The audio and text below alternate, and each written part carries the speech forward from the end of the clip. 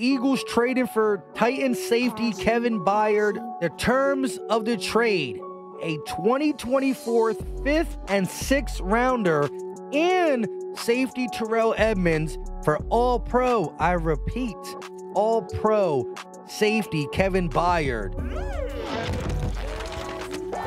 Byard was born in Philly and is coming home. Again, consensus top 10 safety.